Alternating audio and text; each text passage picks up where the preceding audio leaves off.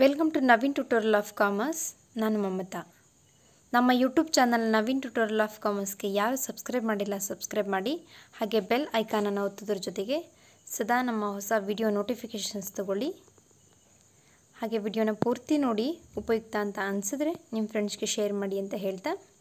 ಈ ಹಿಂದಿನ ವಿಡಿಯೋಗಳಲ್ಲಿ ನಾವು ದ್ವಿತೀಯ ಪಿ ಯು ಸಿ ವ್ಯವಹಾರ ಅಧ್ಯಯನ ವಿಷಯಕ್ಕೆ ಸಂಬಂಧಪಟ್ಟಂತೆ ಅಧ್ಯಾಯ ಒಂದು, ಎರಡು, ಮೂರು ನಾಲ್ಕರ ಪ್ರಶ್ನೋತ್ತರಗಳ ಬಗ್ಗೆ ಚರ್ಚಿಸಿರುತ್ತೇವೆ.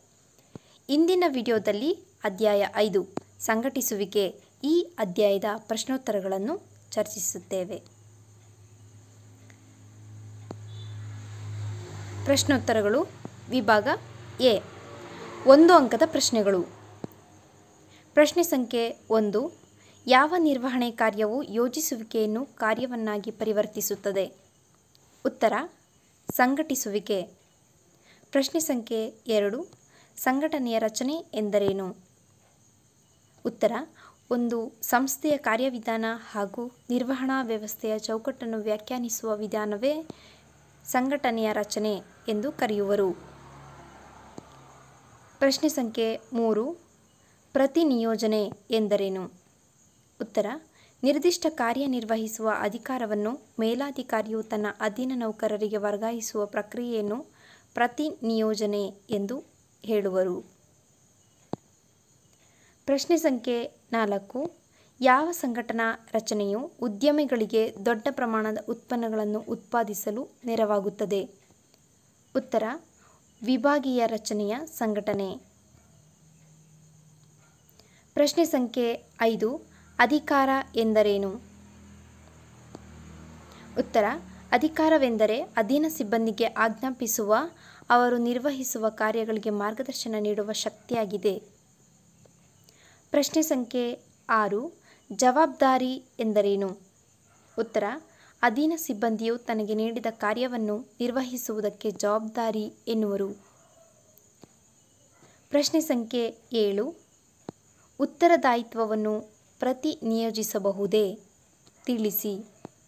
ಉತ್ತರ ಉತ್ತರದಾಯಿತ್ವವು ಅಂತಿಮ ಫಲಿತಾಂಶವಾಗಿದೆ. ಇದನ್ನು ಪ್ರತಿನಿಯೋಜಿಸಲು ಸಾಧ್ಯವಿಲ್ಲ. ಪ್ರಶ್ನೆ ಸಂಖ್ಯೆ ಎಂಟು. ಯಾವಾಗ ಸಂಘಟನೆಯನ್ನು ಕೇಂದ್ರೀಕರಿಸಬಹುದು? ಉತ್ತರ. ಒಂದು ಸಂಸ್ಥೆಗೆ ಸಂಬಂಧಿಸಿದ ನಿರ್ಣಯವನ್ನು ತೆಗೆದುಕೊಳ್ಳುವ ಅಧಿಕಾರವು ಇಬ್ಬರು ಅಥವಾ ಉನ್ನತ ಹಂತದ ವ್ಯಕ್ತಿಗಳ ಕೈಯಲ್ಲಿ ಇದ್ದಾಗ ಆ ಸಂಸ್ಥೆಯು ಕೇಂದ್ರೀಕೃತವಾಗಿದೆ ಎಂದು ಹೇಳಬಹುದು. ಪ್ರಶ್ನೆ ಸಂಖ್ಯೆ ಒಂಬತ್ತು. ವಿಕೇಂದ್ರೀಕರಣ ಎಂದರೇನು? ಉತ್ತರ ಸಂಸ್ಥೆಯ ಕೆಳಹಂತದ ನೌಕರರು ನಿರ್ಧಾರ ತೆಗೆದುಕೊಳ್ಳಬಹುದಾದ ಅಧಿಕಾರದ ಹಂಚುವಿಕೆಯು ಅಧಿಕಾರ ವಿಕೇಂದ್ರೀಕರಣವಾಗಿದೆ. ಪ್ರಶ್ನೆ ಸಂಖ್ಯೆ ಹತ್ತು, ಇವುಗಳಲ್ಲಿ ಯಾವುದು ಪ್ರತಿನಿಯೋಜನೆಯ ಅಂಶವಲ್ಲ?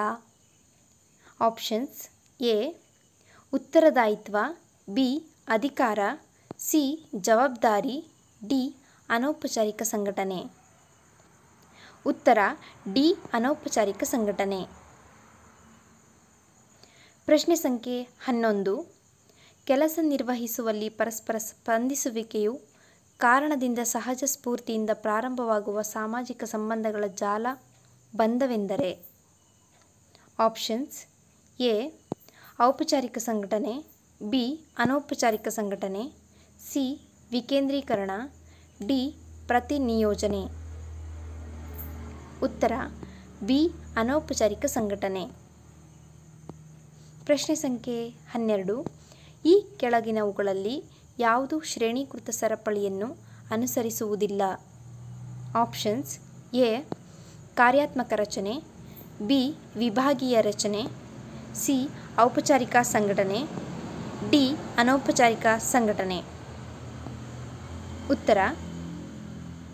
ಡಿ. ಅನೌಪಚಾರಿಕ ಸಂಘಟನೆ. ಪ್ರಶ್ನೆ ಸಂಖ್ಯೆ ಹದಿಮೂರು. ಕೇಂದ್ರೀಕರಣವೆಂದರೆ ಡ್ಯಾಶ್. Options A. ನಿರ್ಧಾರಗಳನ್ನು ಕೈಗೊಳ್ಳುವ ಅಧಿಕಾರವನ್ನು ಉಳಿಸಿಕೊಳ್ಳುವುದು. ಬಿ. ನಿರ್ಧಾರಗಳನ್ನು ಕೈಗೊಳ್ಳುವ ಅಧಿಕಾರದ ಹಂಚಿಕೆ. ಸಿ. ಲಾಭ ಗಳಿಸುವ ಕೇಂದ್ರದ ವಿಭಾಗಗಳನ್ನು ರಚಿಸುವುದು. ಡಿ. ಹೊಸ ಕೇಂದ್ರಗಳ ಅಥವಾ ಶಾಖೆಗಳ ಪ್ರಾರಂಭ. ಉತ್ತರ. ಎ ನಿರ್ಧಾರಗಳನ್ನು ತೆಗೆದುಕೊಳ್ಳುವ ಅಧಿಕಾರವನ್ನು ಉಳಿಸಿಕೊಳ್ಳುವುದು. ಪ್ರಶ್ನೆ ಸಂಖ್ಯೆ ಹದಿನಾಲ್ಕು. ಪ್ರತಿ ಯೋಜನೆಯು ಪರಿಣಾಮಕಾರಿಯಾಗಬೇಕಾದರೆ ಜವಾಬ್ದಾರಿಯು ಅಗತ್ಯವಾಗಿ ಜೊತೆಗೂಡಬೇಕಾದ ಅವಶ್ಯಕ ಅಂಶ. Options A. ಅಧಿಕಾರ, ಬಿ. ಮಾನವಶಕ್ತಿ ಸಿ. ಪ್ರೋತ್ಸಾಹಕಗಳು, ಡಿ. ಬಡ್ತಿಗಳು. ಉತ್ತರ ಎ. ಅಧಿಕಾರ. ಪ್ರಶ್ನೆ ಸಂಖ್ಯೆ ಹದಿನೈದು. ನಿರ್ವಹಣಾ ವ್ಯಾಪ್ತಿಯು ಸೂಚಿಸುವುದೇನೆಂದರೆ ಎ. ವ್ಯವಸ್ಥಾಪಕರ ಸಂಖ್ಯೆ. ಬಿ. ವ್ಯವಸ್ಥಾಪಕರನ್ನು ನೇಮಕಗೊಳಿಸಿದ ಸಮಯದ ಅವಧಿ. ಸಿ. ಉನ್ನತ ಹಂತದ ನಿರ್ವಹಣೆಯಲ್ಲಿ ಇರುವ ಸದಸ್ಯರ ಸಂಖ್ಯೆ. ಡಿ. ಮೇಲಾಧಿಕಾರಿಯ ಕೆಳಗಿರುವ ಅಧೀನ ಸಿಬ್ಬಂದಿ ಸಂಖ್ಯೆ. ಉತ್ತರ. ಡಿ.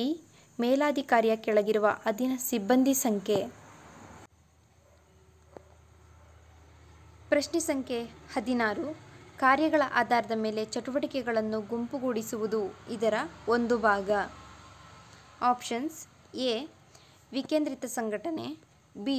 ವಿಭಾಗೀಯ ಸಂಘಟನೆ, ಸಿ. ಕಾರ್ಯಾತ್ಮಕ ಸಂಘಟನೆ, ಡಿ. ಕೇಂದ್ರೀಕೃತ ಸಂಘಟನೆ. ಉತ್ತರ ಸಿ. ಕಾರ್ಯಾತ್ಮಕ ಸಂಘಟನೆ. ವಿಭಾಗ ಬಿಯ ಪ್ರಶ್ನೋತ್ತರಗಳು ಎರಡು ಅಂಕದ ಪ್ರಶ್ನೆಗಳು.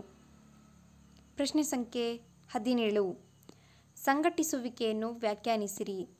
ಉತ್ತರ, ಥಿಯೋ ಹೈಮನ್ರವರ ಪ್ರಕಾರ ಸಂಘಟಿಸುವಿಕೆಯು ಸಂಸ್ಥೆಯ ಕಾರ್ಯಚಟುವಟಿಕೆಗಳನ್ನು ವ್ಯಾಖ್ಯಾನಿಸಿ ಮತ್ತು ಗುಂಪುಗೂಡಿಸಿ ಅವುಗಳ ನಡುವೆ ಅಧಿಕಾರ ಸಂಬಂಧಗಳನ್ನು ಸ್ಥಾಪಿಸುವ ಒಂದು ಪ್ರಕ್ರಿಯೆಯಾಗಿದೆ. ಪ್ರಶ್ನೆ ಸಂಖ್ಯೆ ಹದಿನೆಂಟು. ಕಾರ್ಯಾತ್ಮಕ ರಚನೆ ಮತ್ತು ವಿಭಾಗೀಯ ರಚನೆಯ ನಡುವಿನ ವ್ಯತ್ಯಾಸ ತಿಳಿಸಿರಿ. ಉತ್ತರ, ಕಾರ್ಯಾತ್ಮಕ ರಚನೆ ಮತ್ತು ವಿಭಾಗೀಯ ರಚನೆಯ ವ್ಯತ್ಯಾಸ. ಆಧಾರ, ಕಾರ್ಯಾತ್ಮಕ ರಚನೆ, ವಿಭಾಗೀಯ ರಚನೆ. ಸ್ಥಾಪನೆ, ಕಾರ್ಯಾತ್ಮಕ ರಚನೆಯು ಸ್ಥಾಪನೆಯ ಕಾರ್ಯಗಳ ಮೇಲೆ ಆಧರಿಸಿದೆ. ವಿಭಾಗೀಯ ರಚನೆಯು ಸ್ಥಾಪನೆಯ ಉತ್ಪನ್ನ ಶ್ರೇಣಿಗಳ ಮೇಲೆ ಆಧರಿಸಿದೆ ಮತ್ತು ಕಾರ್ಯದಿಂದ ಬೆಂಬಲಿಸಲ್ಪಟ್ಟಿದೆ. ವೈಶಿಷ್ಟ್ಯತೆ. ಕಾರ್ಯಾತ್ಮಕ ರಚನೆಯು ಕಾರ್ಯಾತ್ಮಕ ವೈಶಿಷ್ಟ್ಯತೆಯನ್ನು ಹೊಂದಿದೆ. ವಿಭಾಗೀಯ ರಚನೆಯು ಉತ್ಪನ್ನ ವೈಶಿಷ್ಟ್ಯತೆಯನ್ನು ಹೊಂದಿದೆ. ಜವಾಬ್ದಾರಿ. ಕಾರ್ಯಾತ್ಮಕ ರಚನೆಯು ವಿಭಾಗವೊಂದಕ್ಕೆ ಜವಾಬ್ದಾರಿ ನಿಗದಿಪಡಿಸುವುದು ಕಷ್ಟ. ವಿಭಾಗೀಯ ರಚನೆಯು ಕಾರ್ಯನಿರ್ವಹಣೆಗೆ ಜವಾಬ್ದಾರಿ ನಿಗದಿಪಡಿಸುವುದು ಸುಲಭ. ಪ್ರಶ್ನೆ ಸಂಖ್ಯೆ ಹತ್ತೊಂಬತ್ತು. ಪ್ರತಿ ನಿಯೋಜನೆ ಮತ್ತು ವಿಕೇಂದ್ರೀಕರಣಗಳ ನಡುವಿನ ವ್ಯತ್ಯಾಸ ಬರೆಯಿರಿ. ಉತ್ತರ, ಪ್ರತಿ ನಿಯೋಜನೆ ಮತ್ತು ವಿಕೇಂದ್ರೀಕರಣಗಳ ನಡುವಿನ ವ್ಯತ್ಯಾಸವೆಂದರೆ ಈ ಕೆಳಗಿನಂತಿದೆ. ಆಧಾರ, ಪ್ರತಿ ನಿಯೋಜನೆ, ವಿಕೇಂದ್ರೀಕರಣ. ಸ್ವರೂಪ, ಪ್ರತಿ ನಿಯೋಜನೆಯು ಕಡ್ಡಾಯವಾದ ಕ್ರಿಯೆಯಾಗಿದೆ. ವಿಕೇಂದ್ರೀಕರಣವು ಐಚ್ಛಿಕ ನೀತಿ ನಿರ್ಧಾರ. ಸ್ಥಿತಿ ಮೇಲಾಧಿಕಾರಿಗಳ ನಿಯಂತ್ರಣ ಹೆಚ್ಚಾದ್ದರಿಂದ ಸ್ವಂತ ನಿರ್ಧಾರ ತೆಗೆದುಕೊಳ್ಳುವ ಸ್ವಾತಂತ್ರ್ಯ ಕಡಿಮೆ. ಕಾರ್ಯನಿರ್ವಾಹಕರ ಮೇಲೆ ನಿಯಂತ್ರಣ ಕಡಿಮೆ, ಆದ್ದರಿಂದ ಹೆಚ್ಚು ಕಾರ್ಯ ಸ್ವಾತಂತ್ರ್ಯ ವ್ಯಾಪ್ತಿ ಕಾರ್ಯಗಳನ್ನು ಹಂಚಲು ಅನುಸರಿಸುವ ಒಂದು ಪ್ರಕ್ರಿಯೆ. ಉನ್ನತ ನಿರ್ವಹಣಾಂಗದ ನೀತಿ ನಿರ್ಧಾರದ ಫಲಿತಾಂಶವಾಗಿದೆ.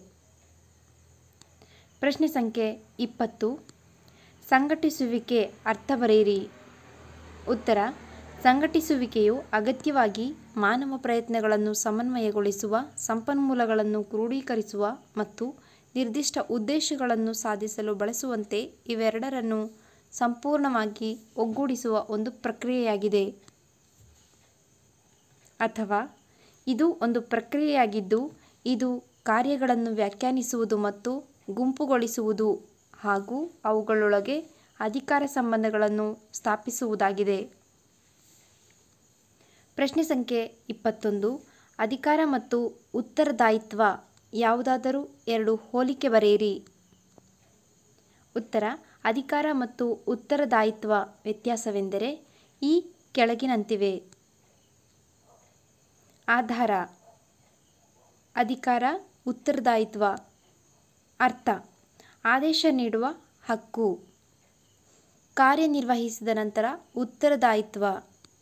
ಪ್ರತಿ ನಿಯೋಜನೆ ಇದನ್ನು ಪ್ರತಿ ನಿಯೋಜಿಸಬಹುದು ಇದನ್ನು ಪ್ರತಿ ನಿಯೋಜಿಸಲು ಸಾಧ್ಯವಿಲ್ಲ. ಮೂಲ.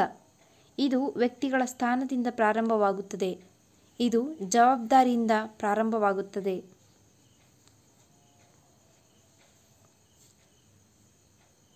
ಪ್ರಶ್ನೆ ಸಂಖ್ಯೆ ಇಪ್ಪತ್ತೆರಡು, ಔಪಚಾರಿಕ ಸಂಘಟನೆಯ ಅರ್ಥ ಬರೆಯಿರಿ. ಉತ್ತರ, ಔಪಚಾರಿಕ ಸಂಘಟಿಸುವಿಕೆಯು ನಿರ್ದಿಷ್ಟವಾಗಿ ವ್ಯಾಖ್ಯಾನಿಸಿದ ಕೆಲಸಗಳು, ಪ್ರತಿಯೊಂದು ಕೆಲಸವು ನಿರ್ದಿಷ್ಟ ಪ್ರಮಾಣದ ಅಧಿಕಾರ, ಹೊಣೆಗಾರಿಕೆ ಮತ್ತು ಉತ್ತರದಾಯಿತ್ವ ಹೊಂದಿರುವ ಒಂದು ವ್ಯವಸ್ಥೆಯಾಗಿದೆ.